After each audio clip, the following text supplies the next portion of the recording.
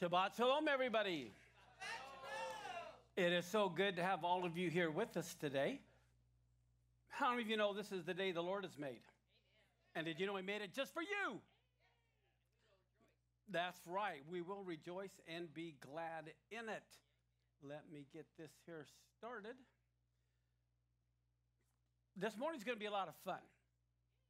It really is. I got some exciting things to bring out to everybody.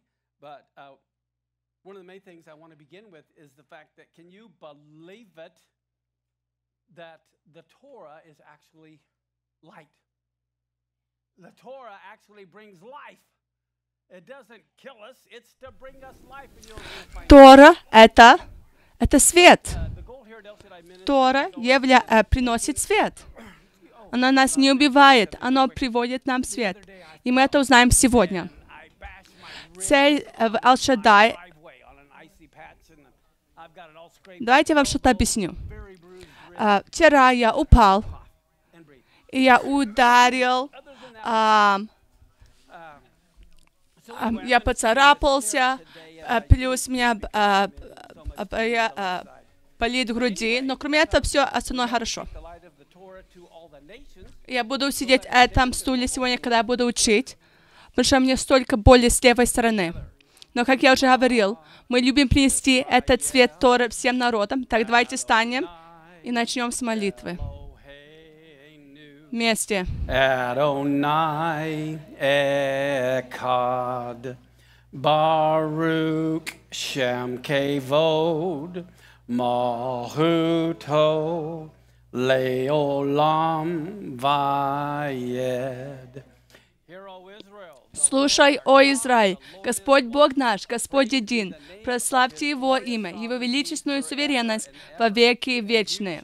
И ты возлюби Господа Бога твоего всем сердцем твоим, и всей душою твоей, всей силою твоей. Эти слова, которые я заповедую тебе сей день, да будут чертаны на сердце твое. Ты будешь на... ты научишь их своим детям во всей точности. Ты будешь говорить о них, когда сидишь в доме своем, когда ходишь по дороге, когда ложишься и когда встаешь. Ты завяжешь их, как знамение на твою руку. Они будут напоминанием между твоими глазами. Ты напишешь их на пороге дома твоего и на вратах твоих. Когда Слово вошло в мир, свобода пришла. Вся Тора существует только, чтобы установить мир. Ее высшее учение есть любовь и доброта. Люби Господа Бога твоего всем сердцем твоим, и что ненавидишь, ты не делай другому. Это и есть вся Тора. Иди, учи ее, почитая друг друга, делая добрые деяния и созидая мир. Это наше наивысшее повеление. Изучение Торы равно всем им, потому что оно ведет ко всем им. Будем учиться, чтобы учить. Будем учиться, чтобы исполнять. Это и есть древо жизни для всех тех, кто столько держится ее. И все те, кто держится за нее, находят радость, ее пути приятные, все связи ее с мир. Помоги нам возвратиться к Тебе, о Господи, и тогда мы воистину возвратимся. Вознови наши дни, как времена древние, как в дни нашей первой любви. Аминь. Вместе. Отче наш, сущий на небесах, да святится имя Твое, да будет, воля, э, да будет воля Твоя и на земле, как на небе.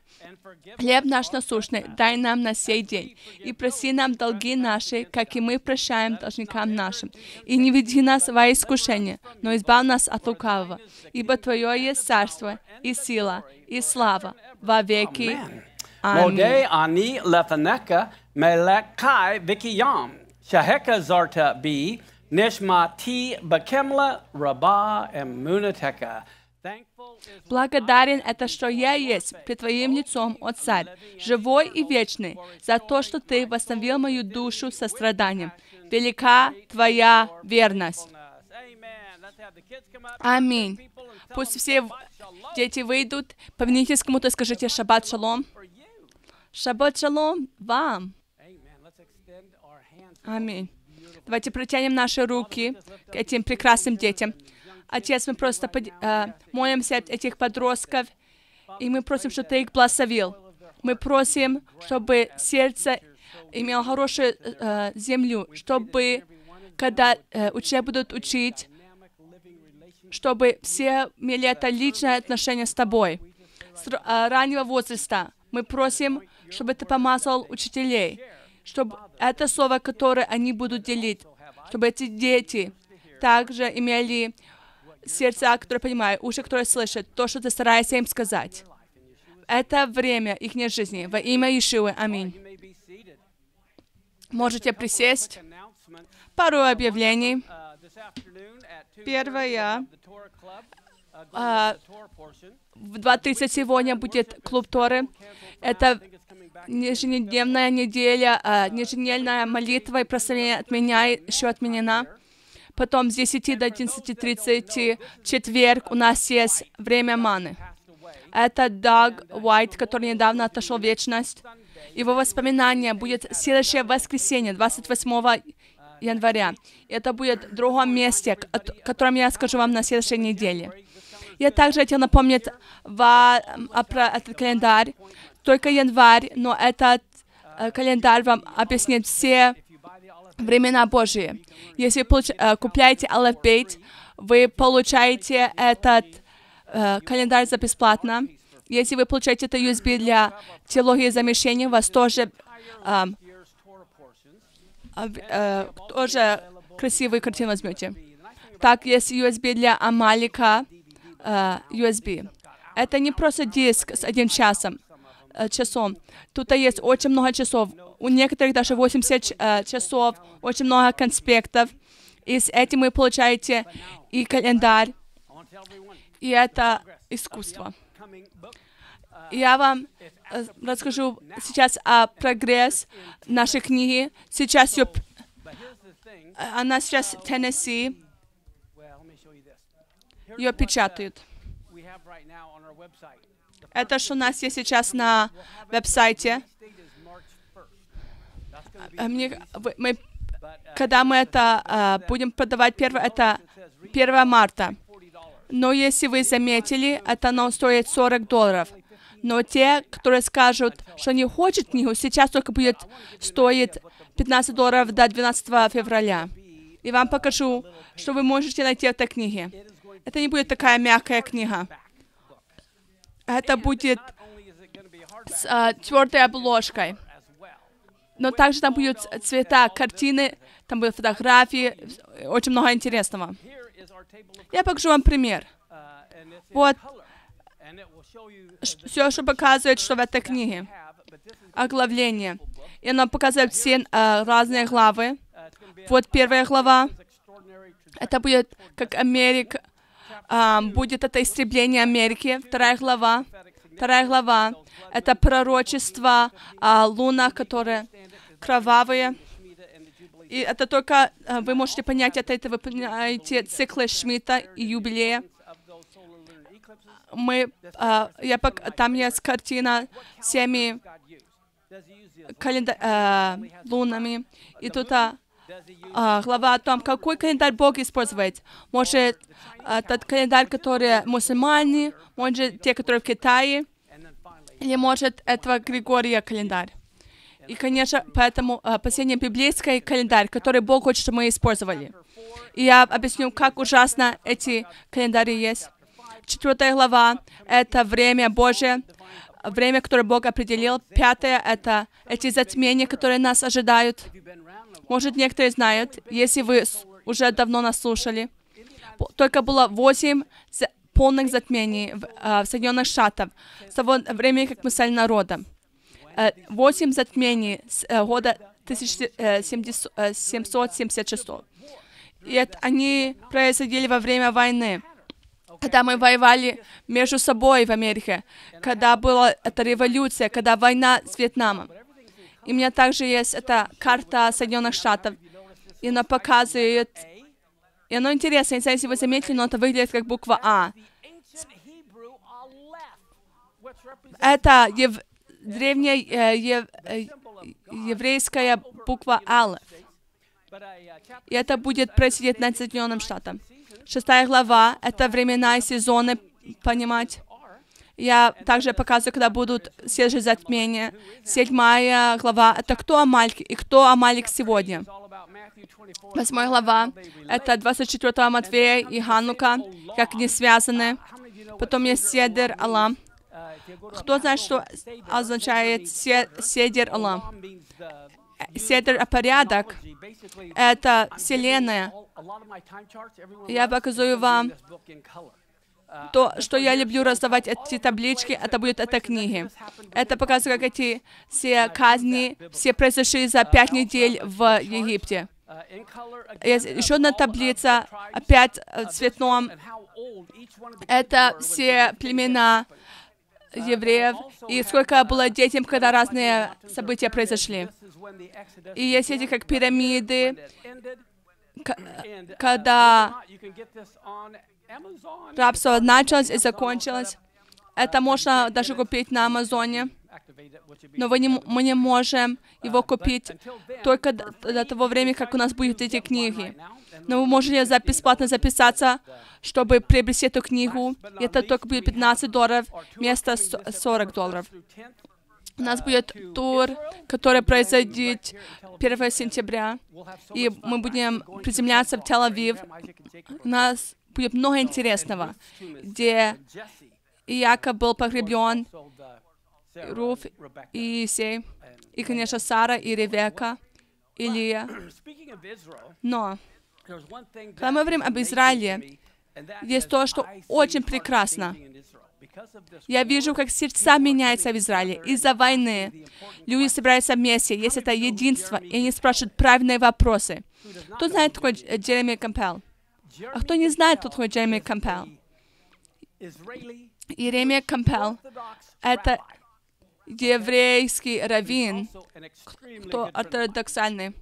И он очень хороший друг. Я люблю дружить с э, ортодоксальными раввинами, с ними говорит. Я к нему ездил много раз, и мы много жертвовали для его организации. Но есть этот разговор об этой войне, который начался 7 октября. Почему эта война началась? Я покажу ролик. Я хочу, чтобы э, близко прислушали, что он говорит. О, о- о причине, почему эта война началась. Пару дней назад я Ульбисен, чтобы послушать эту музыку, чтобы увидеть это своими глазами, не просто на экране. Когда я ходил, можете посмотреть эту картинку, эту фотографию. И есть такой вопрос. Как мы могли так ошибиться? Как мы так ошибаются? Политики были неправильны. Те, которые за войну отвечают, не Шавак и Масад, Мадин, все были неправы. Это эти знаки мира, э, людям, которых убили. Как мы могли так ошибиться? Первое, люди должны посетить, они, э, все, э, должно быть как этот э, марш в Израиле. Ашвиц уже не самый важный разговор. Но здесь намного важнее. Это ближе к нам. И есть такой вопрос. Как вы можете так ошибиться? И ответ, и вы это можете видеть это на конференциях. 75 лет, все, что было самое важное, это что у нас нету. Это маленькое слово. Это означает все. 75 лет Израиль был посвящен, чтобы а, строить эту страну без Бога. Бога нету. И без Бога никогда не будет мира, ни сейчас, никогда.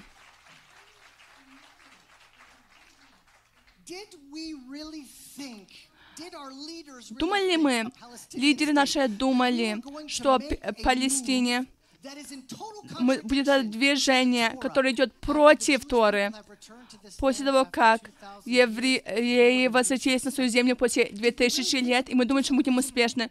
Думали мы, что мы будем идти против того видения, то, что пророки нам говорили.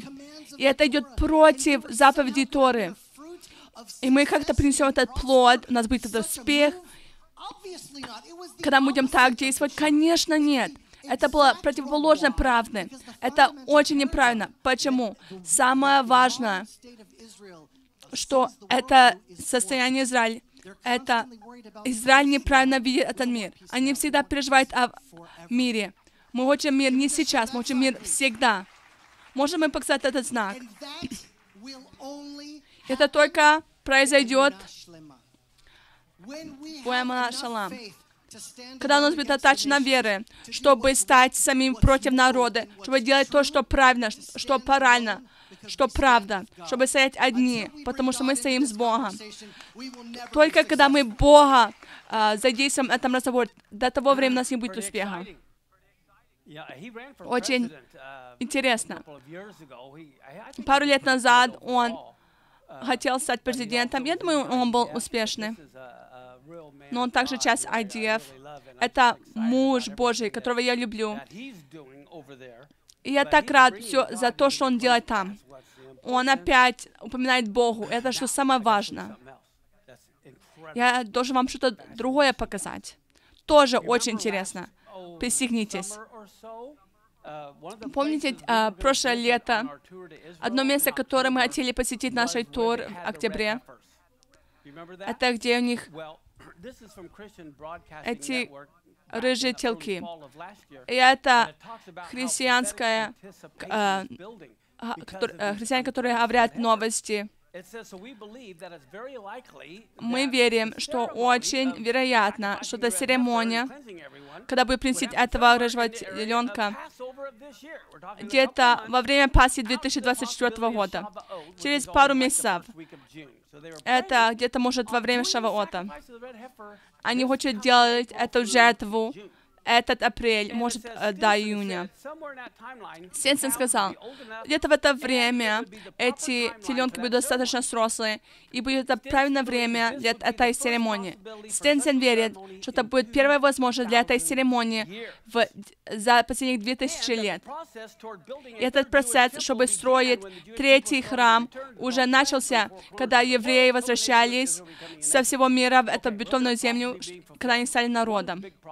Это пророчество исполняется. Это народ стал, э, Израиль стал народом в 1948 году. Но мы тоже хотим построить этот храм. Но не может быть храма, но это не может произойти, пока нет священства. И священство не может работать, пока они не очищены. Поэтому у них должен это пепел рыжего теленка, чтобы они могли потом служить, и мог быть этот храм. Перейдем а, числам 19.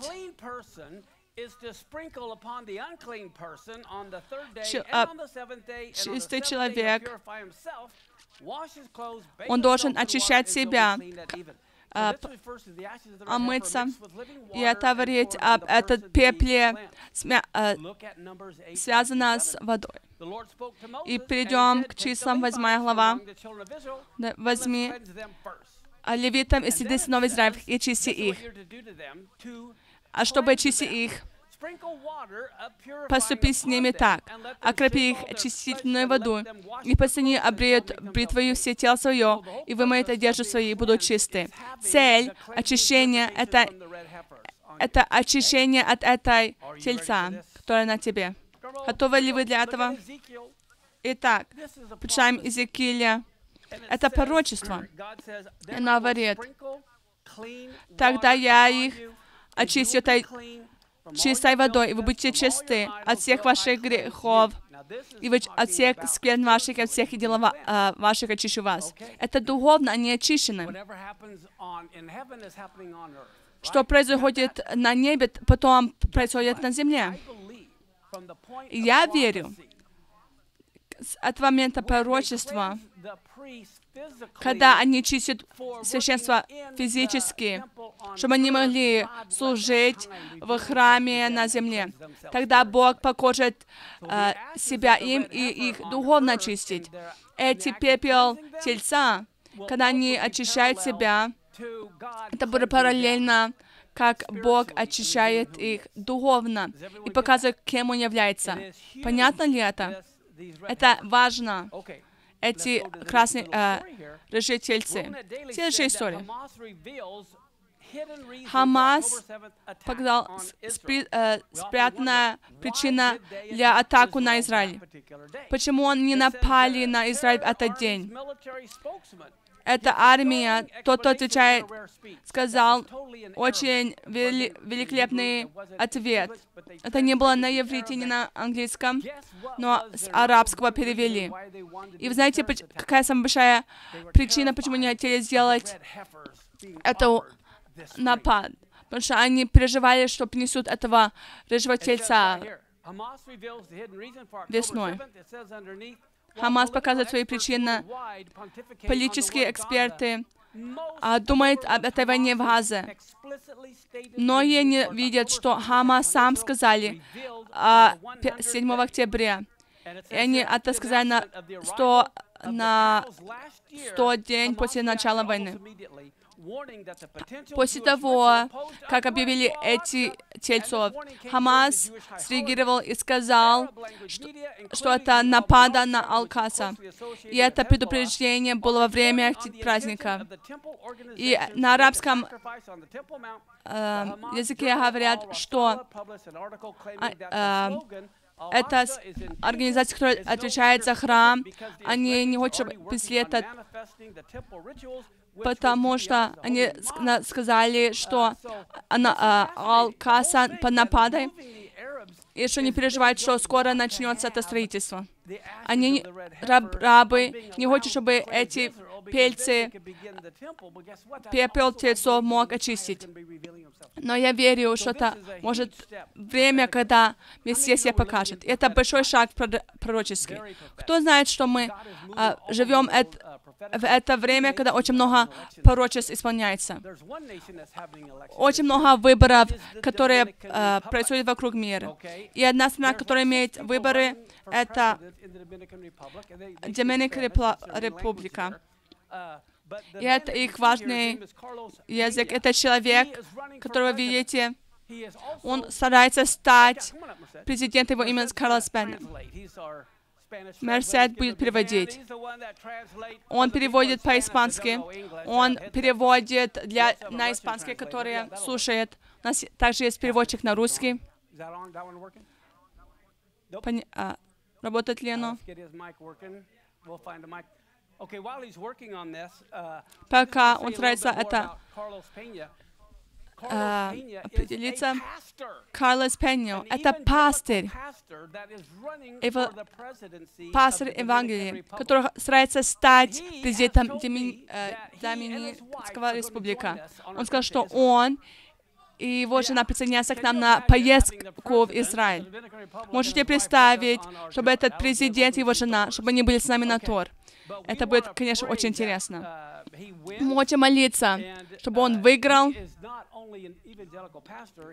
Он не только пастырь, но он также за Израиль. Он сейчас говорит на этом разговоре за Израиль. И Посмотрите этот ролик, и он будет переводить, что происходит.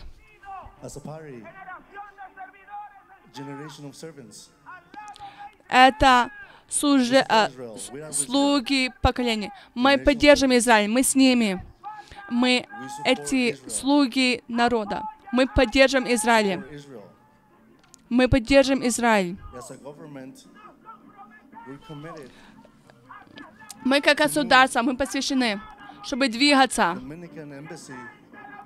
чтобы Доминика, которая в Тель-Авив, передвинуть ее в Иерусалим. Это настоящая а, главный город Израиля. Это что происходит, когда Наш народ. этот против террористов, то, что идет против Израиля, к нашим христианским традициям. Мы слуги, и Israel мы flag. машем наши флаги вместе с флагом Израиля. Мы поддержим Израиль.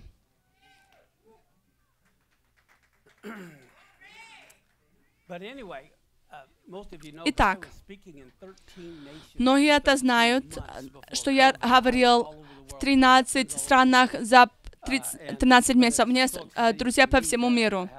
И это та- я так рад, что Карлос, мой лучший, хороший друг, и который поедет с нами. Он и его жена с нами.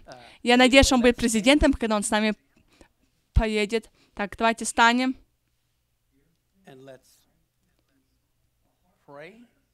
Malkeinu, Давайте помолимся.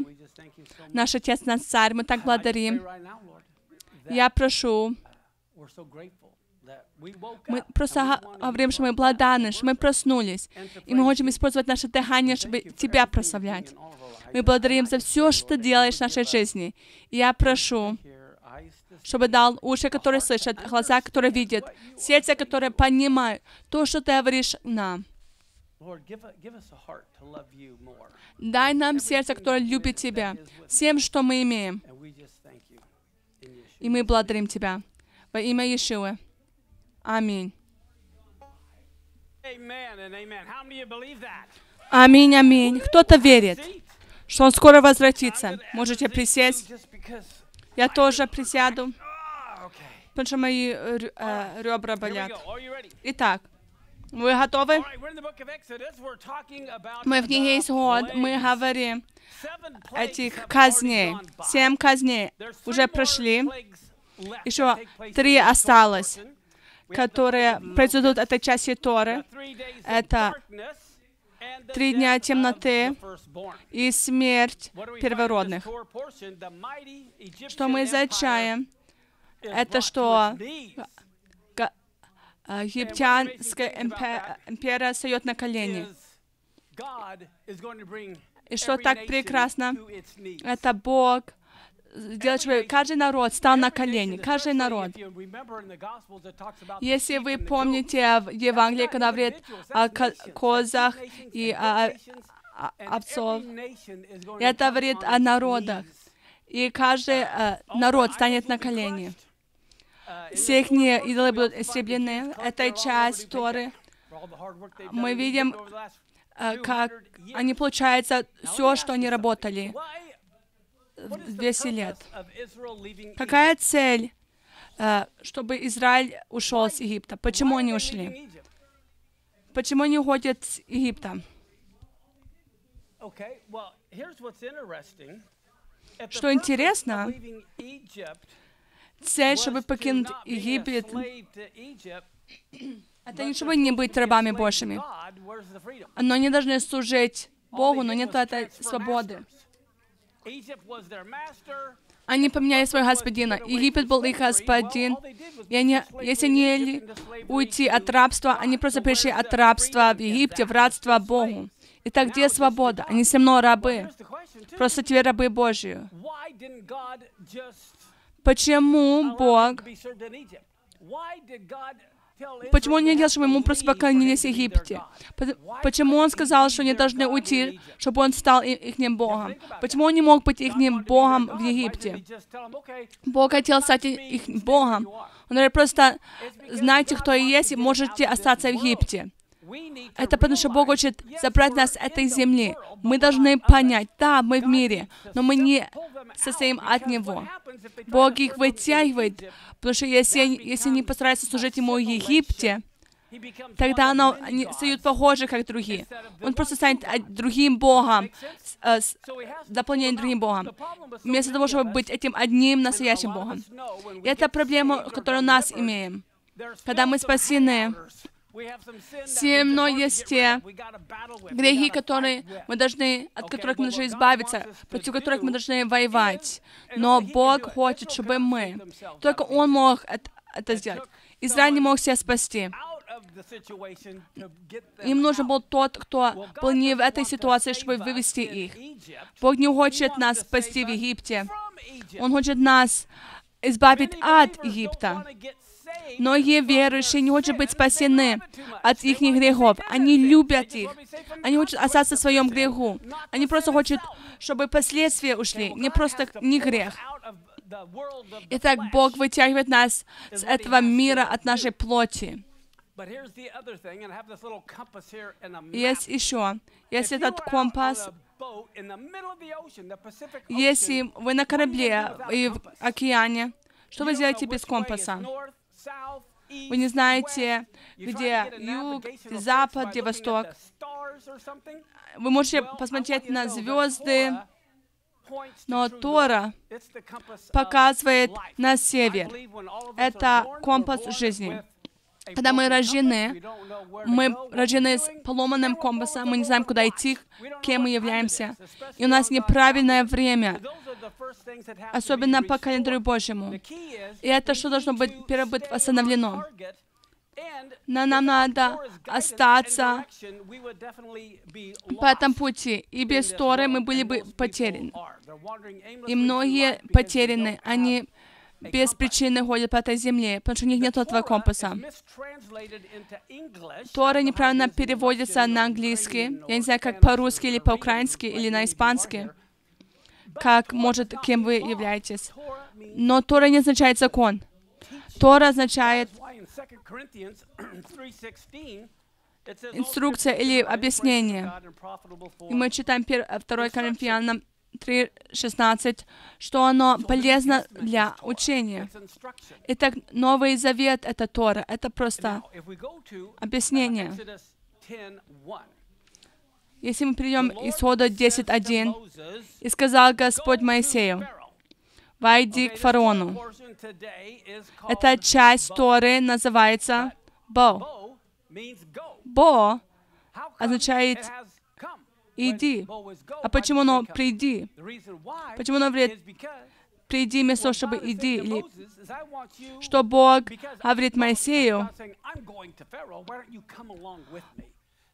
Бог говорит, я иду к фараону, а давай ты присоединися ко мне. Бог означает, что он будет вместе с ним. И Бог говорит, давай ты посмотришь, Моисей, что я сделаю с фари, э, э, фараоном. Кто бы хотел по поехать э, в Иран к лидеру сказать, покайся. Это не произойдет. Это что здесь можно с этим сравнить.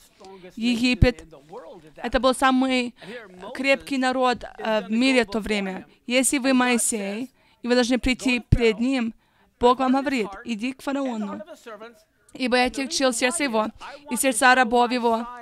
И почему? Чтобы явить между ними си, сии заменимые. Он хочет показать, кто он является перед фараоном. Итак, мы увидим последних три казни. И оно говорит, одна причина для казни.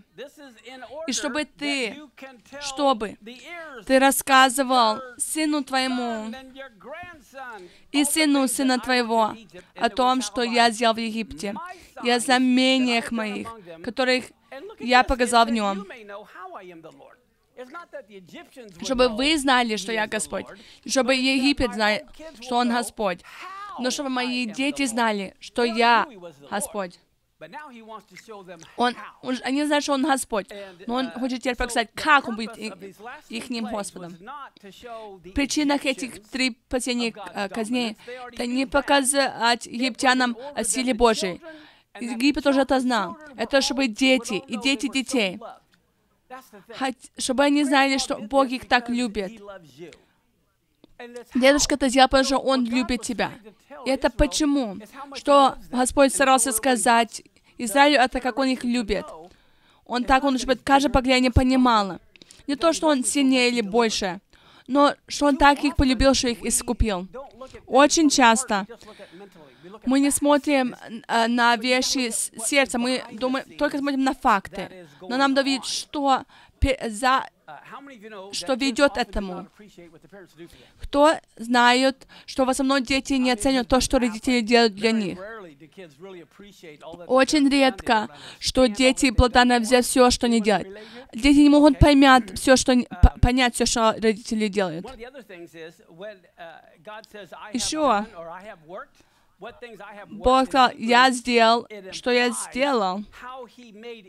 Это говорит, как он сделал, чтобы подсме...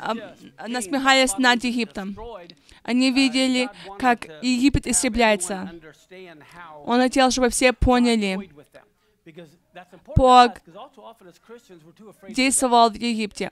Очень часто мы боимся дьявола как вер... верующие. Да, надо его уважать, потому что Он существует. Но не боитесь его. Некоторые боятся а, пауков. Я знаю, что есть те, которые его а, боятся. Просто сравните с чем-то маленьким, что не важное. И что мы встречаем? Исода 10, 3, 4. Моисей и Арон пришли к фараону и сказал ему, так говорит Господь, Бог евреев, долго ли ты смиришься, смиришься предо мной? Отпусти народ мой, чтобы они совершили мне служение. Ты их не Бог сейчас, они тебе служат. Но ты должен их отпустить, чтобы они могли мне служить. Фараон не верил Бога, он не знал, кто такой Бог. Он думал, фараон думал, что он сам Бог. И когда он видит это, эту битву, как один Бог превыше другого Бога, он просто не думал, что Бог Израиля был такой сильный, как он. А если ты не отпустишь народа моего, то вот завтра я наведу саранчу на твою область. Э, Исода 10.6. «И наполнят домы твои, и домы всех рабов твоих, домы всех египтян, чего не вид- видели отцы твои, не отцы отцов твоих со дня, как живут на земле, даже до сегодня». Моисей обратился и вышел от фараона. Что так важно? Вы не поворачиваетесь к царю, вы не поворачиваете спину к фараону, но он, он просто поворачивается и его смиряет. Вот все слуги фараона, которые уважают этого Бога, которого они считают. И вот этот еврей, который просто поворачивает свою спину к нему. И он уходит. Pharaoh being so humiliated. Look what the, Pharaoh- his servants say in he, Exodus 10:7. А, Говоря о том, как усмирен или унизан был фараон. Посмотрим, что рабы его сказали. Седьмой стих. То ли он будет мучить нас, опусти всех людей, чтобы они совершать служение Господу, Богу своему. Неужели ты еще не видишь, что Египет гибнет? И что фараон делает? Они возвращают их, Моисей и says. к фараону. Это что фараон говорит им. Пойдите совершите служение Господу, Богу вашему. Кто же и кто пойдет? Его рабы сказали, давайте отпустим мужчин, ага, дети останутся, и женщины. И сказал Моисей, пойдем с малолетними и нашими стариками нашими, сыновьями нашими и дочерями нашими, и с овцами нашими и с волами нашими. Просто or старается показать, что он такой важный. С каждой войной, даже some Россия и Украина, они должны как-то показывать, что они какое-то важное лицо. uh, И Моисей, у Моисея и фараона такая-то битва, и он, и что, и ш- и что Моисей говорит, мы ничего не оставляем, мы все берем с нами. Читаем Бытие wanted to be 58, buried in Israel, когда Иаков умер, и он хотел, чтобы его похоронили в Израиле. Мы читаем, и весь дом Иосифа, и братья его, и дом отца его, только детей своих и мелкий и крупный скот свой оставили в земле Гесем. Итак, фараон старается это повторить. Да, вы можете идти, но вы все остальное оставляете. Но что столь прекрасно, что сила, что этот народ, этот, этот мир хочет.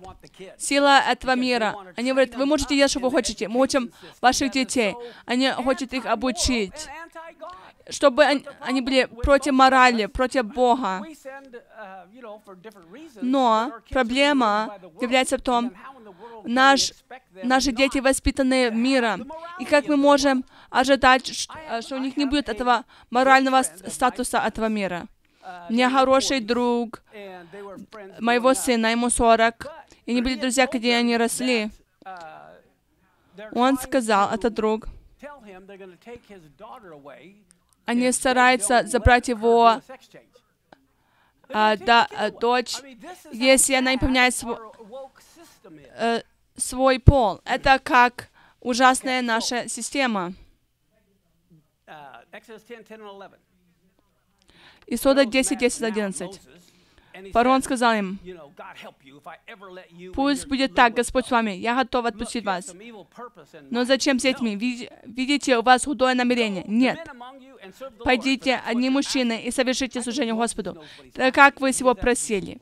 Но Моисей знает, что он спрашивает. Ему не надо, чтобы кто-то подсказал, что он говорит. И фараон по- показывает, что у него такие ам, хорошая мораль, он «Тебе худ- худые намерения.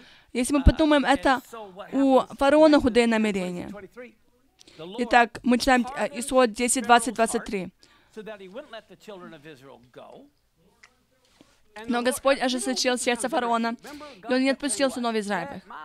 Знаете, что интересно? Это «опусти народ мой». И потом ожесточает сердце фараона, чтобы он не отпустил народ. Почему Бог говорит, опусти мой народ, а потом ожесточает его сердце, чтобы он не опустил людей? Ожестил сердце фараона, и он не отпустил сынов Израилевых. И сказал Господь Моисей, проси руку твою к небу, и будет тьма на земле египетской, осязаемая тьма. Моисей простер руку свою к небу, и была густая тьма по всей земле египетской три дня.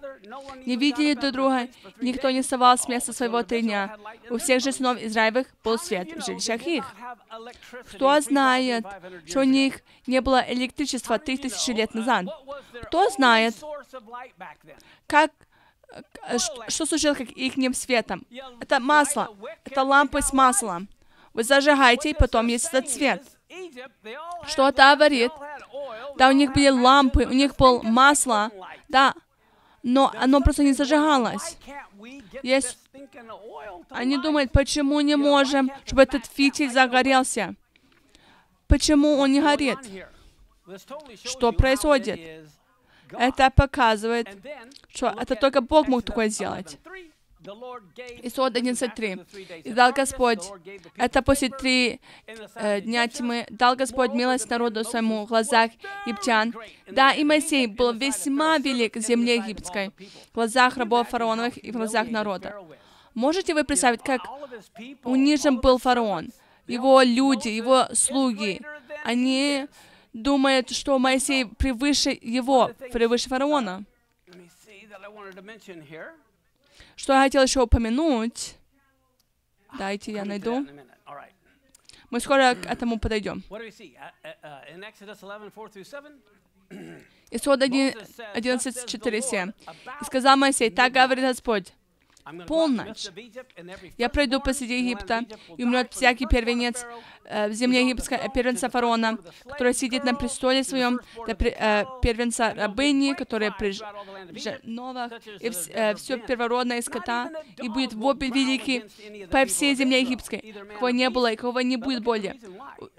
У всех же сынов Израилев ни на человека, ни на скот не пош- э, пошевелит перст языком своим, дабы вы знали, какое различие делает Господь между египтянами и между израильтянами. Смысл всего этого, чтобы Израиль знал, что Господь делает различение между Египтом и Израилем. Какое-то различие. Это между добрым и злым. Бытие, первая глава. Свет и темнота. Я, я не думаю, что Бога есть способ, как просто утемнеть свет. Нету такого серого. Или свет выключен, или ярче, или свет включен, или он выключен. Итак, Бог говорит, я начал это различие между Израилем и Египтом. И у Египта есть эти казни, в Израиле нету. Это, это линия разделения. И посмотрим, что Моисей говорит фараону. 11.8. «И придут все рабы твои все ко мне и поклонятся мне, говоря, выйди ты и весь народ, которым ты преда- предводительствуешь. После всего я и выйду. И вышел Моисей от фараона с гневом. Фараон чтобы они остались, поэтому Моисей говорит, я не уйду, пока ты не прикаж- прикажешь мне уйти. Моисей говорит, опусти мой народ, опусти мой народ. Но потом Моисей говорит, я не пойду, пока ты мне не скажешь идти. И это показывает, кто контроле. Потому что фараон хотел, чтобы они остались. И это похоже. На то, что Иешуа сказал перед тем, как он ушел. Вы меня не увидели, пока вы не скажете. Благословен тот, кто приходит имя Господне. Иешуа говорит, я не приду, пока вы не пригласите меня. Это что он говорит. Он ждет, чтобы Израиль покаялся и пригласили его. Он не возвратится, пока Израиль его не пригласит. Исоа 12.1.3. И сказал Господь Моисею Ирону, земле египетской. Вы знаете, что это одна заповедь, которая была дана в Египте. Только одна заповедь. Всех 613 заповедей. Не 10 заповедей, а 613. Это одна заповедь, которая была дана, когда они были еще в Египте. Это а, говорит, что это, для, это закон для всего мира. Месяц сей да будет у вас началом месяца. Первым да будет он у вас между меся- э, месяцами года. Скаж- скажите всему обществу Израиля в десятый день сего месяца пусть возьмут себе каждый одного ангца по семейству. Что Бог старается нам сказать? Кто хочет иметь это новые отношения с Богом? Мы, хотим родиться свыше, иметь это отношение. Одно, что обеспечивает новые отношения, это установление календаря. Возьмите ангса в этот день этого месяца и убейте в 14 день этого месяца. Когда были в Египте как рабы, кто контролирует твое время? Если вы ра- босс или господин говорит вам, когда спать, когда вставать, время не в ваших руках. А Бог говорит Израилю, перед тем, как они даже ушли, вы должны исполнять мой календарь. Я ваш Бог. Вы должны делать, как я вам по- повелю. Это время, которое должно быть посвящено Богу. Когда вы раб, у вас нет способности, э, способности действовать, как вы хотите. Но он говорит, если вы будете действовать по моему календарю, вы будете по-настоящему свободны. Мы знаете, Ам, Амос 3.3. Такой, Два дня они будут идти вместе, пока не согласятся. Если, если они хотят иметь это, с, э, если супруги не соглашаются в день их свадьбы, они очень тяжело иметь эту свадьбу. Итак, а, кто говорит, когда эта свадьба произойдет? Бог. И это Израиль должен понять, что это время искупления, это новое начало. Итак, Исода 12, 7, 8. И пусть возьмут от крови его, и поможет на обоих косяках, и на перекладине дверей, домах, где будут есть его. Пусть едят мясо его в сию самую ночь, испечено на огне, с пресным хлебом и горькими травами. Если мы сравним это реальной жизни, это Паса, исход. Это был как этот большой праздник с барбекю, с мясом. Мы, мы в Соединенных Штатах любим праздновать, и мы делаем барбекю. Это что здесь происходит? Этот, этот пикник или барбекю. И ну да, Паса, Тора говорит нам, как мы должны праздновать, что им не надо было ее резать. Он не хотели его а, сравнить с чем-то другим. Его надо было а, целым испекти.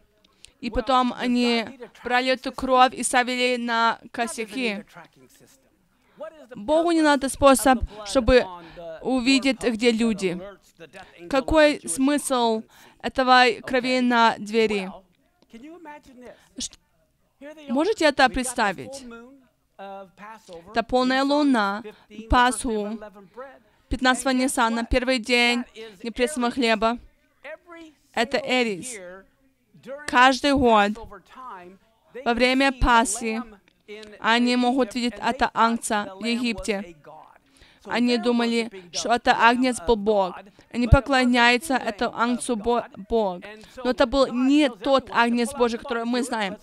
Итак, Бог говорит, давайте пожарим этого агнца, и мы увидим, что все в Египте видят, как вы жарите вашего Бога. Итак, все египтяне могут слышать этот запах этого ангца. И они верят, это полную луну, что когда этот Бог Агнец, когда у него была самая большая сила, и что они делают? Они убивают. Не просто это Агнец, но они убивают этого Бога Египта. Они говорят, у вас не настоящий Агнец Божий, у нас настоящий Агнец. И это что всегда происходит. Они не только убивают Бога египтянов, они также ставят его кровь на косяках дверей, чтобы если их ищут, чтобы мы могли их найти. Вот таблица а, для всех те 10 казней. И вы видите, что все эти 10 казней произошли только а, 5 недель заняли. Исода 12.12. «А я в сию самую ночь пройду по земле египетской и поражу всякого первенца в земле египетской, от человека до скота, и над всеми богами египетскими произведу суд». Я это упомянул на прошлой неделе, но мы больше в детали поговорим сегодня. Бог хотел истребить всех богов Египта. И поэтому первый бог — это Хапи. А Он не был сильно счастливый, или по-английски очень рад. Итак, он превращает эту Ниль в кровь. Это смерть этого Бога. Следующее это а, в Египте был этот бог лягушка, потому что есть было много лягушек, которые появились в Ниле. И он говорит, вы любите лягушки, я вам а, дам этих лягушек, чтобы вы усались. Геб — это был бог земли, землетрясение — это когда Геб смеялся. И что он делает? Он превращает эту пыль в вши. Шу это был это а, ветра и атмосферы. И это кто-то защищал а, землю. Итак, что он делает? Он приводит всех этих насекомых, чтобы они напали на Египет. Потом есть Бог Апис. И что Бог делает? Он убивает всех животных. Это смерть этого Бога. Потом есть Бог медицины, тот, кто исцеляет. Хека, он был действовал с магикой и с медициной. Он и поэтому он говорит, давайте а, вы исцелите это. И он посылает эти казни. И если это Бог Над, это кто защищал человека от неба. И поэтому он эти камни, которые падают с неба. Каждый Бог, который Египет верил, он его убивал и показывал, что у них нет силы. И это был Бог Мин, это был праздник в Египте. Они праздновали весну, их сбор. И это был посвящен Богу растений. И поэтому он приводит это саранчу, который истребляет все, э, э, всех растений. Потом этот Ра, бог Египта, который отвечает за солнце. И последний бог Аман-Ра. Это был бог Ангенс. Это его верили, верили, что он был создатель э, человека. И поэтому Бог убивает э, перв, первенца. И каждая казнь была напада на Бога Египта. Я думаю, что Бог тоже истребит все богов этой земли. Эти спорты, может, Голливуд, все, что сует Богом, Бог будет это забирать, истреблять.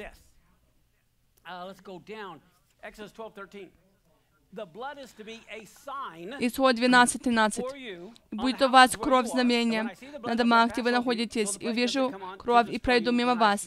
Не буду между вами язвой губительной, когда буду поражать землю египетскую». Что столь прекрасно, это стихия. Это первый раз, это один, одно место, где это происходит. Этот кровь будет знаком для вас. Вот оно на иврите. В основном слово для знака алеф тав. И поэтому только остается алеф тав. Это начало и конец. Это Бог, Алеф Тав, кого кровь проливается над их домами. Это кровь Алеф Тав. Это слово для знака. Исход 12, 14. Да будет а, вам день сей памятен. И празднуй- празднуйте в он и праздник Господу во все роды ваши. Это слово «олам». Это до конца или до вечности. Как усыновление вечное, празднуйте его. Вы должны его подчеркнуть, чтобы вы всегда помнили и вспоминали, чем оно является. Мы встречаем полночь. Полночь. Никто не знает день ни часа. Это любой секунд, любое время может другой день. И это почему очень много происходит по полночь, потому что никто не знает ни времени, ни часа. Полночь, э, Исход 12, 29, 30. Полночь Господь поразил всех первенцев всей Египетской, от первенца фараона, и был великий вопел. Иов 34:20. Внезапно они умирают. Когда? Среди ночи. Псалтырь 119, 61, 63. Все те нечестивых окружили меня, но я не забывал закон Твоего. Полночь вставал совосове Тебя. Но говорит, полночь встану. Давайте вас спрошу, как он может проснуться полночь? У них не было эти, а, что могло их будить. Вы знаете, как? Кто знает, что о, а, Давид играл на арфе? Он, он открывал эту э, окно ночью, и потом эта дверь был. Бо- когда Божий Дух приходил, то он слышал, как эта арфа играет, и он начал вставал. Книга Судья 16.3. А Самсон спал до пол, полночи. В Руф 3.8. Полночь. Он содрогнулся. Потом также прочитаем Матфея 25, 6, 8. Но полночь раздался крик. Вот жених идет. Я, я верю, что очень много э, в этом слове полночь. Исход 12, 43, 46. А говорит о этой пасхальной жертве. И это, что они должны не поломать никакую кость, потому что в Иоанне, когда они, они убивали Мессию, что всех перебили их колени, но Мессия это не сделали. И многие думают, что когда Иисус был распят, то был гвоздь в руке, но, но было под ним, потому что никакая кость не была поломана. Итак, мы должны помнить этот день, когда Бог выведет, когда Бог нас вовел. Луки 22, 19. «И взял хлеб и благодарил, преломил, и подал, подал им, говоря, «Сие есть тело мое, которое за вас предается. Сие творите мое воспоминание». Что говорит сие? О чем он говорит? Он говорит, это Пасха, и вы сие творите, и потом вспоминайте меня. О чем он говорил? Это пасхальный с- седер. Это не... Он не говорил о том, как мы должны сеть.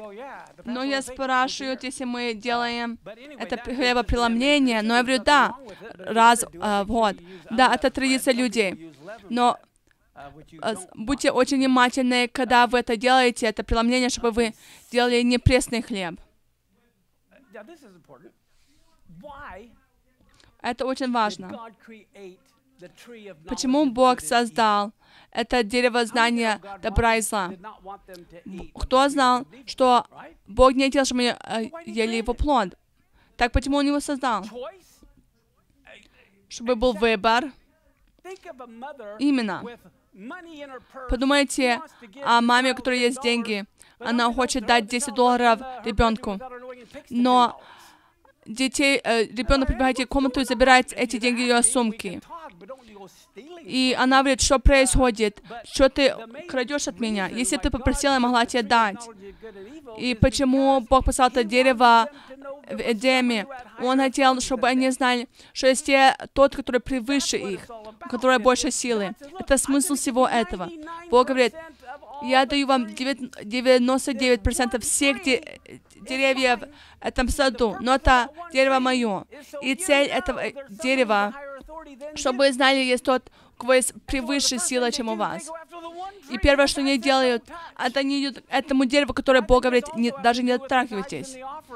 И это даже связано с пожертвованиями и десятиной. Бог говорит, я даю вам сто процентов. Я даю тебе еще сто процентов, вы только 10 должны мне давать. Это просто показывает, кто, у кого сила. Кто слышит, о, ты не мой босс, ты не мой хозяин.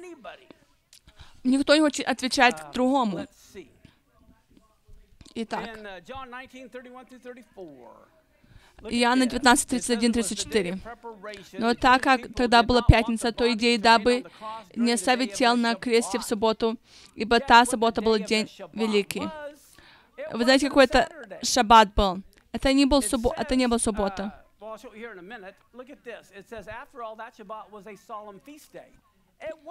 Это был день великий. Это не был суббота. Это был день праздника. Это Паса. И когда мы читаем Левита 23, 4, 6, вот праздники Господни, священное собрание, которые вы должны созывать в свое время.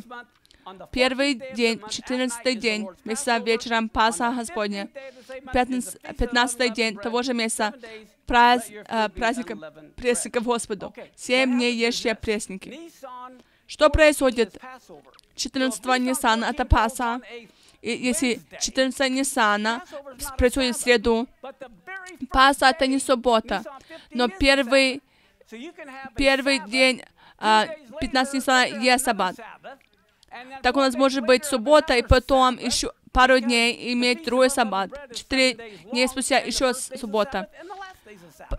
И что праздник семь дней. И так вы можете иметь четыре суббот. Э, э, только в две недели. Первый день и последний день были субботами. И вы увидите скоро, почему это важно, в следующей части.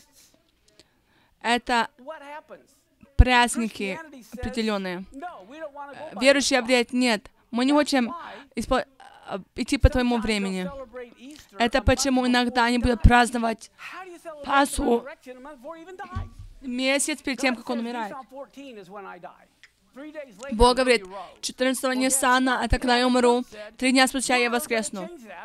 Но календарь говорит, мы это все изменим. Мы скажем, что он сейчас воскрес. Пер, а, первые недели после этого Иквинакс. Это может быть 28 яра или 27. Но а, Библия говорит, что это должно быть в Ниссане. И так иногда они празднуют а, воскресенье месяц перед тем, как он умирает. И это почему должны идти по календарю Божьему. Если у вас есть время или дата, чтобы встретить кого-то и покушать, или лучший пример. Я говорю с людьми вокруг мира, и мы должны согласиться, а, смотря кого время будем использовать, чтобы поговорить. Если мы не согласиться, какое время будем а, считать, то как мы можем соединиться? И поэтому календарь а, язычников — это не календарь, который мы должны испо- испо- а, использовать. Мы должны использовать календарь Божий, который связан с Солнцем. Итак, кто решает, когда посетить его? Если вы идете а, президенту какой страны, вы думаете, он будет идти по вашему скеджулу? Нет. Так мы станем, будет это время перерыва, и потом мы возвратимся. Наш Отец на Царь, мы благодарим Тебя за это время, которое можем прийти и наслаждаться Твоими историями. Ты любишь истории, и это истории твоих детей много поколений назад. Мы часть этой семьи. И мы просто так рады слышать о дедушках, о дядь, те, которые произошли тысячи лет назад. Мы любим их. И я прошу, чтобы мы могли учиться от них. Мы хотим что-то взять для себя с этих исторических событий. Итак, я прошу, чтобы открыл наши глаза. Я благодарю за те, которые собраны здесь, все, которые вокруг Соединенных Штатов и вокруг мира. которые имеют сердце, чтобы услышать Твое сердце. Наша цель — это, чтобы наше сердце услышало Твое сердцебиение. Мы хотим радоваться тому, что, что Ты радуешься. Мы хотим любить то, что Ты любишь, ненавидеть то, что Ты ненавидишь. Мы хотим углубляться в нашей любви для Тебя. Мы благодарим за тех, которые здесь собраны вокруг Соединенных Штатов, которые жертвуют, чтобы мы могли быть этим светом и быть этим свидетельством Тебя, что Ты такой добрый Отец. Во имя Ишуа, аминь. Благословен Ты, Господь наш Бог, Создатель Царь Вселенной. Ты благословил нас Торой Твоей правды. Ты благословил нас всем советом Твоего живого слова, через силу Духа Святого, через законченного дела Мессии Ишуа.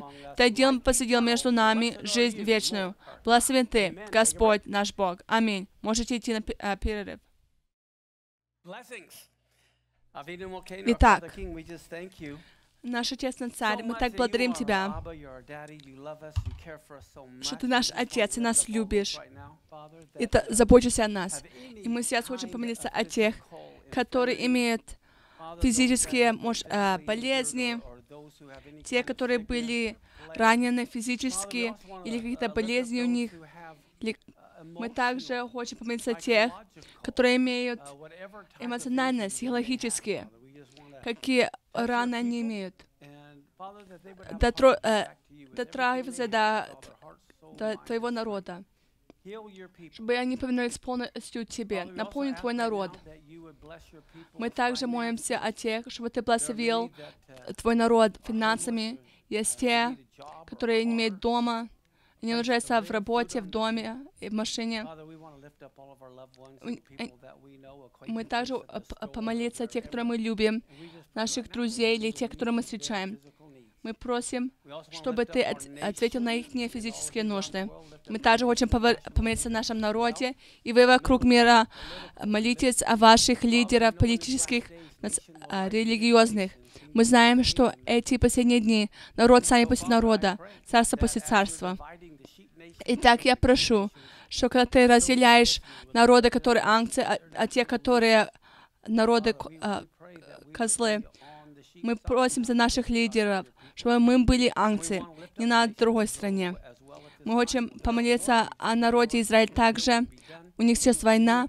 Мы просим, чтобы Твоя воля исполнилась, чтобы Ты защитил свой народ, чтобы они возвратились к Тебе. Во имя Ишуы. Аминь. Вы- спасибо, вы можете присесть.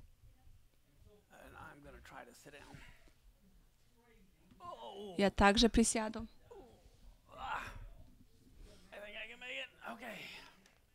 Мне кажется, мне получится. Что мы теперь будем делать? Но перед тем, как я к этому перейду, я хочу, я люблю говорить о тех, которые смотрят нас по интернету. И сегодня это великолепно. Люди с Канады, с Израиля, Ямайки, Филиппинов, с Индии, с Шотландии, с Ганы, с, с с Мек- Мексики, с Чили, э, Кроации, Багамы, Нова Скоша, Кения и вокруг всех Со- э, штатов. Так прекрасно, что столько людей вокруг мира, которые нас все смотрят. Сегодня мы будем углубляться в Евангелие. Мы постараемся, чтобы Библия стала реальной. Если вы не знаете культуру, вы не знаете язык, то вы пропустите. Есть люди, которые с, с Южной Америки, с Кореи, Украины, России. У нас есть разные народы, которые и разные языки, которые и вы знаете, те, когда вы переводите, то во время перевода что-то может а, а, быть какие-то ошибки, потому что когда переводится, то но не всегда точно. Так я вам дам место Писания, и потом мы его перевернем. И вы будете смотреть на этот стих по-другому с этого дня. Начнем с Марка, 3 глава, 1 по 6 стих. И пришел опять в синагогу. Там был человек, имеющий иссохшую руку. Наблюдали за ним. Это фарисеи. Не слит ли его в субботу, чтобы Oh обвинить его. Можете вы это представить? Здесь они просто ждут, чтобы напасть на Господа, если, они кого-то, если Он кого-то исцелит. Так, что так неправильно э, в том, чтобы исцелить в субботу? И так что происходит? Иешуа говорит этому мужчину, который имел stand руку, Встань. «Встань!» И потом, and I don't know if you knew this, there were смотрит на фарисеев. levels of Pharisees, not one. There are actually seven different Се- levels Был of семь уровней фарисеев. Есть семь разных уровней. Они по-разному верили. Вы не можете их всех uh, вместе поставить. И он говорит им, Что он им сказал? должно ли в субботу добро делать или зло делать? Душу спасти Или погубить? Но-. Они как это лень перед машиной. Они даже не знали, что сказать. И возре- возрев на них гневом, потому что никто не отвечает на его ответ. "Being grieved because of the Что он делает? Он, скорбя об ожесточении сердца их, uh, говорит тому "Stretch forth your человеку, hand." And he stretched it out. протяни руку твою. Он протянул, и стала рука его здорова, как другая. Фарисеи, выйдя, немедленно составили с Okay. совещание против него, как бы погубить его. Что вы вспоминаете, когда вы читаете эту историю? Какой вывод, который верующие имеют on? этой истории? Какой смысл? Какой вывод? Uh, Когда вы сперва прочитаете, первый раз посмотрите, можете вы подумаете, все очень четко. Он делает чудо, он делает что-то против закона, и поэтому wanna хочет его убить. Вы думаете, не странно ли то, что они хотят кого-то убить, потому что он исцелил? Но есть история, которая объясняет эту историю. Вы не хотите кого-то убить, потому что он, а, он исцелил кого-то. Итак, нам надо дойти до конца. Причины, корня этому. Это очень странно. А, э. Те, которые думают, что уже субботы нету. Они думают, что объяснение этого это, что уже субботы нету. Но это странно. Иисус отменил субботу, Он отменил закон, и евреи, они зло. Но что здесь происходит? Иешуа. Превращает это воз- возможность, чтобы учить. Что в субботу надо делать? Это читать Писание Моисея и потом учить. Это что мы сегодня будем делать. Вот суббота. И Иешуа спрашивает, что можно делать в субботу? Спасти жизнь или погубить? Делать добро или зло? Благословить или проклятие? 11, 1 through 4. Прочитаем Второзаконие 11, 1, 4. God is speaking, and he says, the И это Бог говорит. Итак, люби Господа Бога твоего и соблюдай, что, за, что повеляю им соблюдать, и постановление его, и законы его, и doesn't его. Когда? Во все дни. Он говорит не еврейские постановления, не еврейские законы и заповеди. Это его, то, те, которые он дал для них. И мы читаем, и вспомните, ибо я говорю не с нами вашими, которые не знают и не видели наказания. Господа Бога вашего, Его величию, э, Его ру- крепкую руку и высокую мышцу Его, знамение Его и дела Его, которые Он сел- сделал среди Египта с of Egypt, царем египетским, и со the землей Его, и что Он сделал с войском египетским, с Lord had конями destroyed колесницами, them. которых Он потопил uh, а, водах Черного моря, когда Он погнал were за Ним. Фарисеи знают эт- эти места Писания. Они всю жизнь свою изучали. Я не знаю э, Deuteronomy эти связи. Но здесь мы читаем Второзаконие, как силен Господь, что Он истребил 11, всех египтян. И 26 дальше читаем. 28, Второзаконие 11, Moses 26, says, "I'm setting 28. Вот я предлагаю вам сегодня благословение и проклятие. Благословение, если послушайте don't заповеди, а, а How проклятие, если не choose заповедей Господа. Как тяжело выбрать между, между благословением и проклятием. Я предлагаю вам воду или ва- а, воду с ядом. это химическим составом, который вас убьет. Что вы хотите пить? В Экклезиастах мы читаем, причина, почему люди э, выберут воду э, цианидом. Я просто даю вам пример. Почему они грешат? А потому наказание не сразу происходит. Они грешат, им нравится удовольствие э, греха, и они говорят, что мы потом последствиями будем э, разбираться. Последствия иногда занимают 20 лет. И мы говорим, о, я сейчас посижу, а через 20 лет буду об этом переживать. Итак, здесь благословение проклятие. Что вы выберете?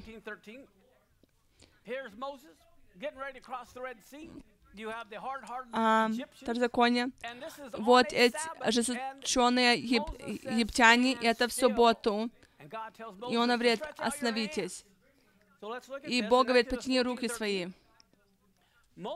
Второзаконие 14.13. «Не бойтесь, но стойте и выйдите спасение Господня, которое показывает вам сегодня, потому что египтян, которые вы видите, больше не увидите. Господь будет завоевать за вас, а вы просто должны спокойно стоять. Итак, израильтяне должны стоять, а Бог будет воевать за них. Битва предлож э, битва приложит Господу, а победа наша. Кто видел, как э, овечка нападает на волка? Нападает ли овечка на волка? Нет, это бесполезно. Но мы, как овцы, очень часто нападаем на дьявола. Но наша работа не нападать на него. Наша цель — это ходить за пасухом. Есть очень много проблем, потому что они стараются делать то, что им не позволяется. Возвращаемся к этому. Второзаконие. 30, 15, 18. «Вот я сегодня приложил тебе жизнь и добро, смерть и зло». И когда Иешуа говорит к ним в Марк 3 главе, они слышат, вспоминают эти стиха. Помните, они стараются использовать Моисея против них, но здесь Моис... Бог дает Моисея и напоминает о выборе. Должны вы делать добро или зло проклятие или благословение. И они вспоминают эти стихи. Моисей говорит, я между вами добро и жизнь, смерть. Если будете исполнять заповеди Его и посмотреть Его закон Его, то будешь жить и разно, размножиться. И благослови тебя, Господь Бог твой, на земле. Но если ты обратишь сердце твое и не будешь слушать, и заблудишь, и станешь поклоняться иным Богам, то я возвращаю вам сегодня, что вы погибнете, не пробудете долго на земле. Вот фараон Египет, и вспом, вспомните все этих рабов, которые в Египте. И это, что Бог говорит, Исода 5.1, через Моисея. Моисей приводит и говорит, «Так говорит Господь Бог Израилев, опусти народ мой». Отпусти их. Следующий а, а, глава, 7 глава, 14-16 стих. И сказал Господь Моисею, упорно сердце фараонов. Он не хочет отпустить народ. Пойди к фараону завтра, вот он выйдет к воде. Ты стань на пути его, на берегу реки, и жезл, который превращался в змея, возьми в руку твою и скажи ему, Господь Бог евреев послал меня сказать тебе, отпусти народ мой. Они в цепях, и Бог говорит, отпусти народ мой. Исход 8.1.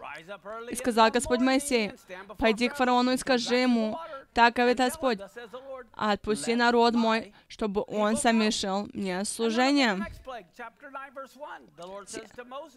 Потом, 9 первый стих. Пойди к фараону, скажи ему, так Господь Бог евреев, отпусти народ мой, чтобы он совершил мне служение. 9.13. И сказал Господь Моисей, завтра стань рано и явись пред лице фараона, и скажи ему, так Господь Бог евреев, отпусти народ мой, чтобы он совершил мне служение. 10.13. Моисей и Аарон пришли к фараону и сказали ему, так Господь, Бог, долго ли ты не смиришься предо мной, отпусти народ мой, чтобы он совершил мне служение. Что Бог делать, говорит Египту сделать? Отпустить его народ. Это кажется очень просто. фразу, которая опять повторяется. Но Египет хочет, чтобы они оставились а, в рабстве, at цепях. Exodus 14, 13 through 18. Исхода 14, 13, 18. This is at the Red Sea. Says to the people, fear not, Это уже Черное what?" море. Но не бойтесь. И это, что Иешуа сказал этому человеку с этой рукой. Стой и увидите спасение Господне, которое Он соделает вам. Ныне, ибо египтян, которых видите, вы ныне более не видите вовеки.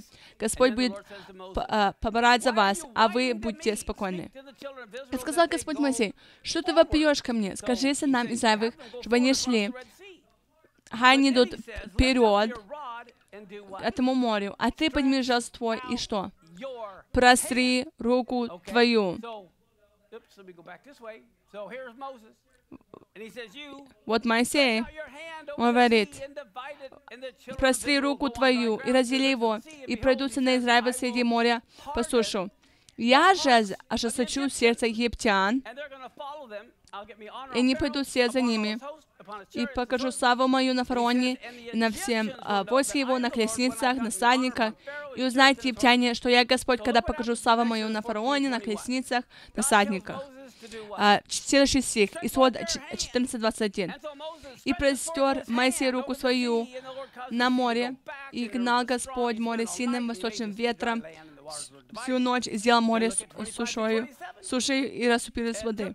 25-27 стих. И отнял а, колеса колесницы их, так что они влекли их с трудом. И сказал египтян, побежим из израильтян, потому что Господь побирает за них против египтян. И что Господь говорит? Простри руку твою на море, и да обратятся воды на египтян, на колесницы их и на садниках их. И простер Моисей руку свою на море, и к утру вода возвратилась в свое место. А египтян бежали навстречу воде. Так э, потопил Господь египтян в Среднем море. Мы прочитали эту часть Торы. Ско знает, что 15 э, тысяч лет лидеры евреев знали эту часть Торы. Каждую пасу они повторяют эту часть Торы. Они все знают ожесточение э, сердца фараона, египтян. Они знают, что это Господь, который говорит Моисею, чтобы протянуть руку. Вы уже начинаете понимать, что происходит в этой истории, когда Бог говорит человеку этой сошей рукой, чтобы стоять, этот человек э, встает Моисеем, и Бог говорит этому человеку, протяни руку твою. И потом он исцеляется. И Бог говорит в Евангелии, что он насиделся на фарисеев из-за ожесточения сердца их. Это что египтяне имели. Это история, все, что происходит. Иешуа а, допускает этого человека иссохшей рукой быть Моисеем. Фарисеи — это египтяне, которые имеют это ожесточение сердца, которые не хотят отпустить его народ, не хотят, чтобы была свобода и исцеление. Но это не только тогда произойдет, но также в субботу произойдет, произошло в Египте. Иешуа, он играет эту роль Бога и говорит этому человеку, что делать, и протянуть свою руку. Здесь он Бог. Этот человек с ошей рукой — это Моисей, а фарисеи — это ожесточенные египтяне. Это что эта история превращается? Как Бог говорит фараону через Моисея, отпусти народ мой. Но что он делает? Ожесточает сердце свое. Здесь Иешуа говорит, я даю вам выбор. Это суббот, чтобы делать добро или зло. Но вы, как это ожесточенные египтяне, и вы хотите делать зло. И вы не хотите освободить этого человека. Вы видите этот параллель? Эта вся история в в Марке связана с исходом. Левитам 26, 23, 6, 8. И 15 день того же месяца праздник опресноков Господу. Семь дней ешьте опресноки. Первый день да будет у вас священное собрание. Седьмой день также священное собрание. Никакой работы не ра- работайте. Это агнец был заклан на 14 дней. 15 день, это первый день опресника. Это 15 день, что они несли свою а, иго. Они шли пару миль. Они ломали этот закон субботу, чтобы освободиться в Египте. Он говорит, лучше мне осудить Моисея. Моисей это тот, кто сказал, чтобы они все шли в эту субботу. Седьмой день, так, также в субботу, когда они тоже своими вещами ушли. Как Моисей празднует субботу, когда он освобождает всех евреев. Он говорит, как, почему я не могу освободить этого человека и сошей рукой? Они хотели его убить, потому что он исцелил, а потому что он сравнил их, э, фарисеев, к ожесточенным египтянам. И те- теперь понятно, почему они хотели его убить. Понятно ли это? Но вопрос заключается в том, разрешено в субботу делать добро или делать зло, спасти жизнь или уничтожить. Бог делал то и другое в субботу. Он уничтожил египтян и спас жизнь евреев в субботу. Я думаю, это очень прекрасно. Это почему надо связывать а, Новый Завет с, с Танахом, с Торой, потому что это о чем они думали. И они- он хотел, чтобы они все это связывали. Я дам вам другой пример. Это море Галилейское. Где-то снизу вы видите две звездочки. Это две, два города Шунин, а другой Наюн. Это а, гора морей. Это гора учений. Это где Бог хочет нас учить. Вы знаете, что здесь произошло? Кто-то помнит? Очень Важные вещи произошло в этих городах. И мы сделаем эту связь, и вы лучше а, эту историю в Евангелиях. Начнем Иисус Навин, Де- 19, 17, 18. Это во время Моисея. Четвертый вышел из Агару.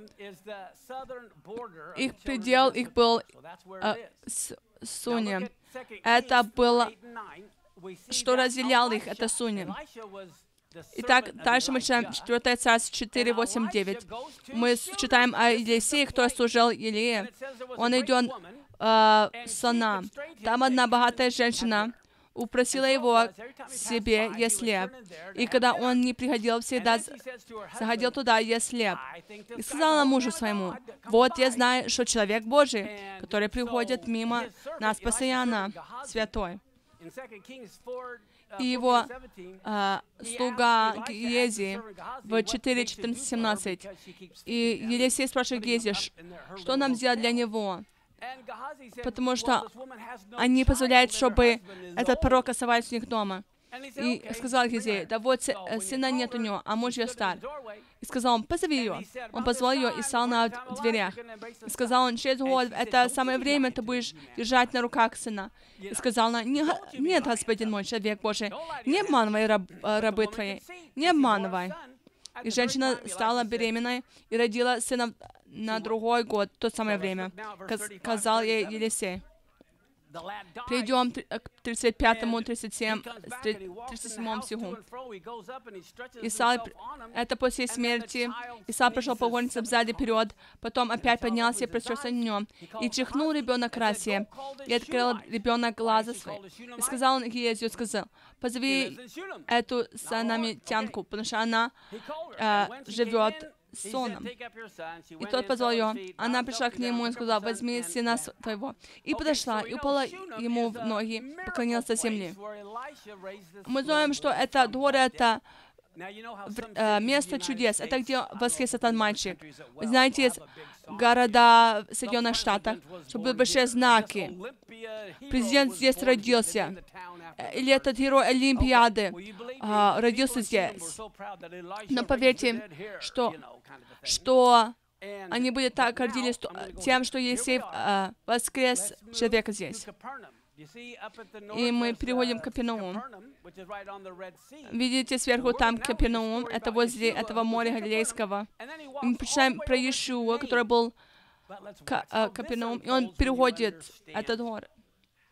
Давайте посмотрим, как это заканчивается, когда мы понимаем культуру евреев. Луки 7, 1, 5. Когда, когда он окончил все слова свои, слушавшим Наум, то вошел Капинаум, одного сотника слуга, который он дорожил, был болен при смерти. Услышав об Иисусе, он послал к нему иудейских старейшин просить его, чтобы пришел и слугу его. И не придя к Иисусу, просили его убедить нас, и что они сказали? Он достоин. Он достоин, чтобы ты это сделал. Для него это, ибо он любит народ наш и построил, наш, сина... построил нам синагогу. 6-7 стих. Иисус пошел с ним. Когда он недалеко уже был дома, сотник послал к нему друзей сказать ему, «Не трудись, Господи, ибо я недостоин, чтобы ты вошел под кров мой. И себя самого не почел я достойным прийти к тебе. Но скажи слово, и выздоровеет слуга моего. Услышав это, Иисус удивился ему и, обратившись, сказав идущим за него а, народу, что Израиль не нашел я такой веры. Посланные возвестили с дом, нашли больного слугу выздоровевшим. После всего Иисус пошел в город, называем что? Наин. И мы возвращаемся к карте мы видим, что, что там, ребенок был, а, был воскрешен, э, воскрешен. И читаем, что произошло в Наин. Опять кто-то воскрешен. И с ним шли сколько? Многие из учеников его. И множество народа. Тысячи, тысячи людей, которые идут за ним. Когда же он приблизился к городским вратам, тут выносили умершего, единственного сына, у сына, сына у матери. Она была вдова. И сколько людей было, и много народа. Можете представить это, что это Врата не были очень широкие в этом городе, но есть тысячи людей, которые стараются войти в эти ворота. Есть тысячи людей, которые стараются выйти из этого города. Это все происходит одно время. Есть этот народ Иешуа, и есть еще одна, а, толпа, которая старается пойти, чтобы похоронить во время похорон. Что пропускают, это кто, перво, кто должен остановиться. Как мы пройдем через эту вор, а, ворота? Как, где вы выросли? Я думаю, хоть в этом народе, когда есть похороны, все должны были остановить свои машины. Помните это? Остановить машину. И потом те, которые хоронили, прошли, и потом опять продолжали ехать. Это что произошло? Э, происходило в Соединенных Штатах. Вот эта группа, которая похоронить женщины всегда шли первые, и за ним были мужчины, и потом дети, и потом сам а, а, в конце там несут гроб. Это как они шли на похороны. Вы знаете, очень много юристов и не знают весь этот закон. Говорит, если есть это похороны, а есть в то же самое время свадьба, кто первый останавливается и кто идет. И они сказали, что мы сделаем, чтобы порно остановились, и потом свадьба идет первая, потому что оно показывает жизнь, а не смерть. Первое, а, те, кто хоронили, должны остановиться, и потом идет, а, кто отвечает за свадьбу, и потом за ними порно. Они говорят, а что если то также идет э, своим народом. Они решили, что царь Израиля самый важный. И потом сва... те, которые на свадьбу идут, и потом на похороны. Вот это эти похороны, которые идут, чтобы хоронить. И вот есть еще свадебная группа. И есть еще одна группа с царем. Что произойдет? Они стараются определить, чтобы не было хаоса. И вот мы в этой истории, я постараюсь это объяснить. Было очень много людей с Иешуа, которые входят в этот город. Есть очень много других людей в городе, которые входят через эти ворота. И вопрос — это кто остановится? Но Луки 7.13. Увидев ее Господь, жалился над ней и сказал ей, «Не плачь». Где она в этой процессии похорон? Она в самом впереди. И что мы читаем? И подойдя, прикоснулся к одру в гробу, и, он- и где-то находится а, в самом конце, и они остановились, несшие остановились. Это вся процессия остановилась, потому что они поняли, что Ишуа есть царь Израиля. Это почему они остановились. Он царь Израиля. И он проходит, и он говорит, «Юноша, тебе говорю, встань». Мертвый, поднявшись, сел и стал говорить. И дал его Иисус матери его. И всех объял страх, и славили Бога, говоря, «Великий пророк послал между нами, и Бог посетил народ свой». Такое мнение о нем распространилось по всей Иудее и по всей окрестности. Можете это представить? Вот эта большая группа людей, которые ходят, и другая группа, которая выходит. И все останавливаются и не говорят, что Ишуа есть царь, и потому они останавливают. Итак, он воскрешает этого юношу сзади. И это просто другой способ, как смотреть на эту историю. Аминь. Если у кого-то есть вопросы, может быть. Сейчас время для вопросов. Если вы на интернете, вы знаете, как спросить вопрос. Вы, тут- вам понятно, почему надо понять эту культуру евреев, чтобы это было главне- а, важнее значение. Я также хочу делать время для вопросов иногда. Может, есть какие-то вопросы? Второй раз спрашиваю. Итак. Вопрос.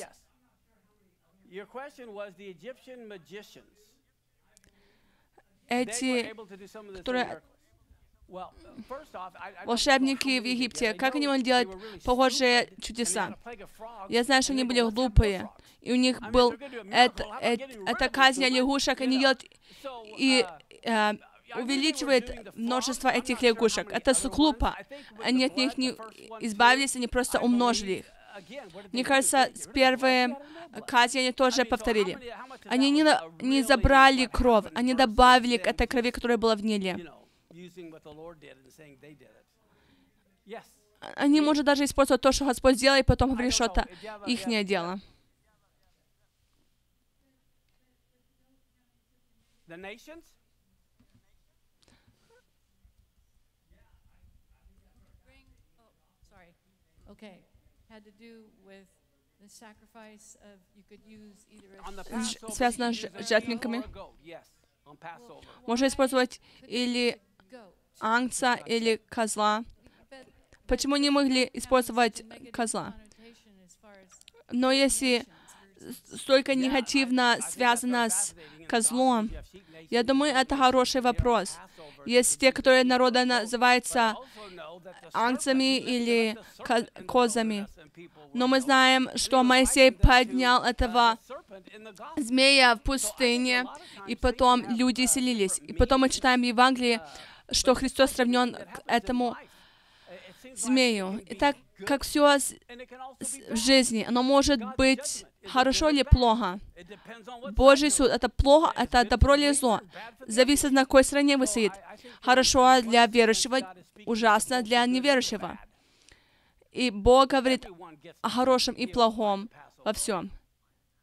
Все могут быть исцелены этим ангстом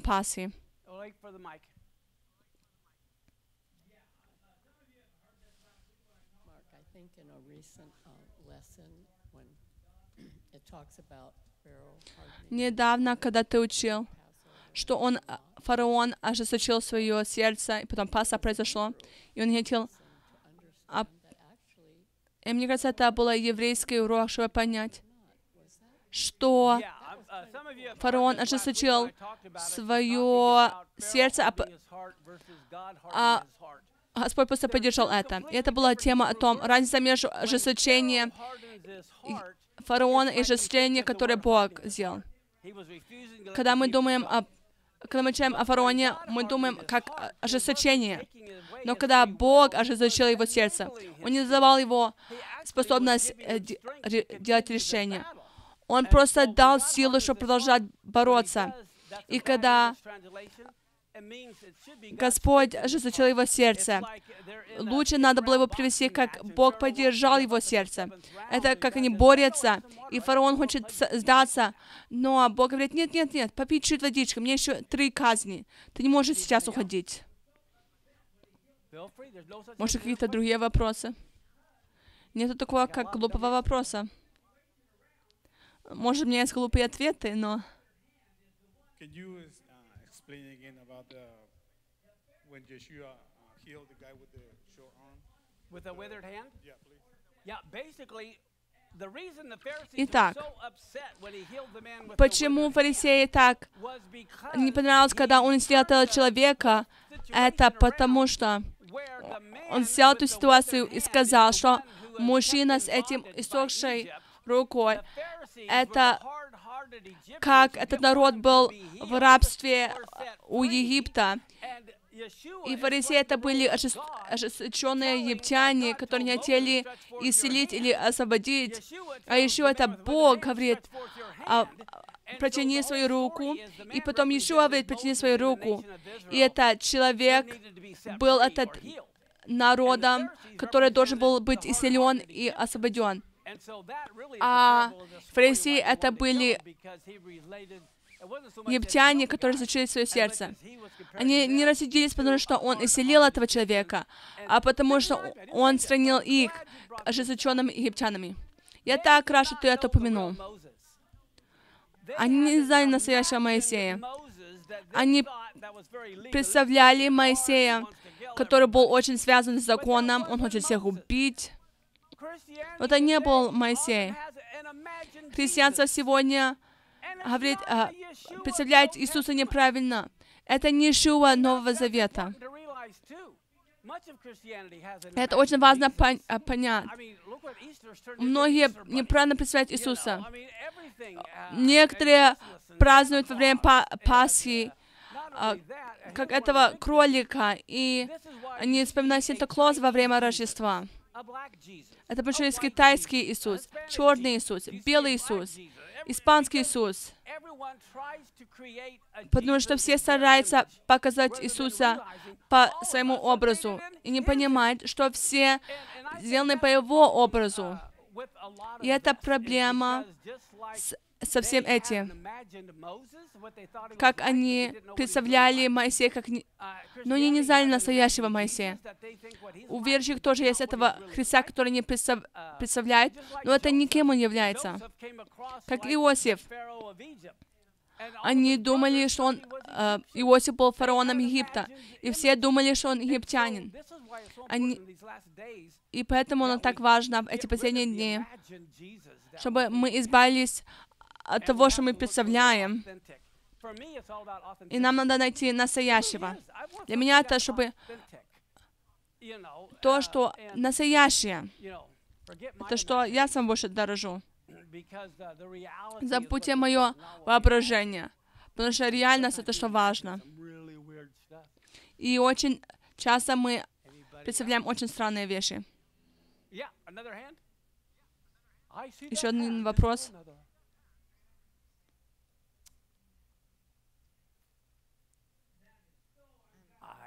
Can't see you. Pastor Mark, in the light of uh, the man being healed on the Sabbath, could you explain А, Когда мы думаем о том, что мужчина был исцелен, как можно объяснить второ- а, вторая глава Марка, что суббота была сделана для человека, не человек для субботы? э, Потому что мы знаем, что мы должны поклоняться Господу в субботу. Но что мы, как понимать, что суббота была сделана для мужчины? Прекрасный вопрос. Создаете вы эту комнату детскую для ребенка или ребенка для этой комнаты? Суббота была сделана для нас, чтобы у нас было время отдохнуть и быть создателем. Бог создал человека перед тем, как он создал субботу. Мы не поклоняемся в субботу. Мы не поклоняемся субботе, мы поклоняемся Богу, который создал субботу. Кто знает, что дети не любят быть возле родителей, когда они подростки? Но Бог хочет иметь отношения. Я с кем-то говорил во время а, перерыва. Благословение и проклятие. Сколько из нас знает, какой выбирать? Мы знаем, нам надо выбирать благословение. Но когда мы грешим, осознаем ли мы, что мы грешим? Мы все знаем, что мы осознаем, что мы грешим. Мы всегда будем идти против того, что мы знаем. Мы все- всегда бунтуем против того, что мы знаем. Но в основном мы- не бунтуем против, против того, которого вы любите. И вы думаете, я не могу это сделать моей маме, или так по- God обратиться к сыну или дочери. И Бог не хочет, чтобы мы знали закон, но Он хочет, чтобы мы познали тот, кто дает этот закон. Потому что когда мы понимаем, тот, кто дает этот закон, и что закон для нашего блага, и что Он нас любит, э, меньше вероятность, что мы будем бунтовать или идти против этих законов. Мы постоянно мятежим против того, что мы знаем. Но если вы в отношениях, вы не хотите их поранить, как Иосиф, что он сказал? after him. I can't Когда фараона Патифара, жена, сорвалась, покушалась на него. Я не могу это делать и грешить против Бога. Он больше чувствовал о чувствах Божьих, чем этих последствий, которые бы его ожидали. Это напоминает мне, когда я спрашивали, спасены ли вы мы? Спасены ли вы? Они такие, да, я спасен. И они говорят, я спасен от ада. Но я говорю, нет, его имя будет Иешуа, потому что он спасет их от их грехов. Мы не хотим быть спасены от наших грехов, мы хотим просто быть спасены от этих последствий. Но Бог говорит, нет, если Бог, э, если люди думают, что смерть на кресте дал им способность грешить, это можно сравнить с тем, как если я подарил жене цветы, пусть Бог ее побил, это все нормально. Да, можно поставить эти цветы где-то э, в другом месте, мне все равно. Оно не так работает, что если вы что-то сделали, надо просто подарить цветы. Но самое важное — это отношения. Также с субботой. Бог не дал нам законы, чтобы мы поняли... Он не хотел, чтобы мы думали, что Он такой большой, сильный Бог. Но потому что Он хотел иметь отношения с нами. Но если мы думаем, что Его законы стараются нас убить, вы не понимаете это отношение. Понятно ли это? Это смысл закона. Вы не говорите своим детям, когда им четыре, чтобы они остались а, вне забора, потому что ты их ненавидишь. И вы не говорите вашим детям, идите спать, потому что вы ненавидите их. Еще один вопрос.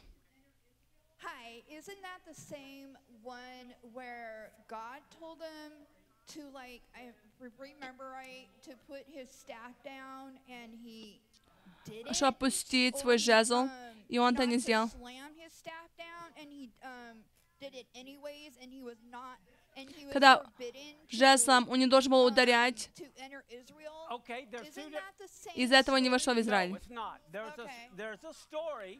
Разные истории. uh, Есть еще одна the история. Uh, Господь. А, Сказал Моисею о воде возле камня. Он говорит, ударь этот камень, и потом вода выйдет. Есть вторая история, когда они хотели произвести воду с камня. И Бог говорит, не ударяй, просто говори камню. Но Моисей ударил этот камень, вместо того, чтобы говорить, вода пришла, но все равно был этот суд. Почему был осужден? Это когда он а, ударил этот камень, это показывало смерть. Он- И он поломал I э, not связь в том, что человек может повредить, и потом вода придет. Я помню эту историю, но я просто не могла вспомнить все детали. Так, давайте встанем.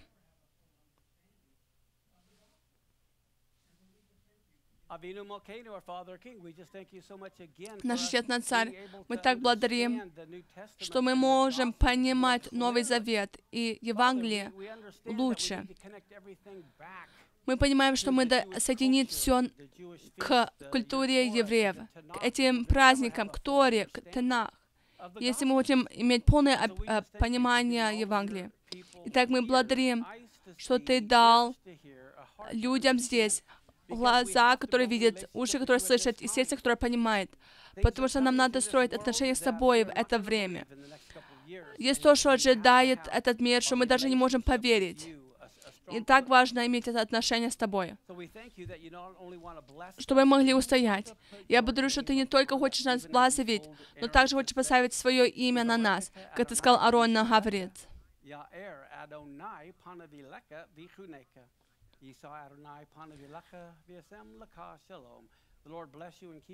Да благословит тебя Господь и сохранит тебя. Да призит на тебя Господь светом лицем своим и помилует тебя. Да обратит Господь лице свое на тебя и даст тебе мир. Это самое прекрасное имя. Эе, Аше, Эе. Аминь. Увидим вас на следующей неделе.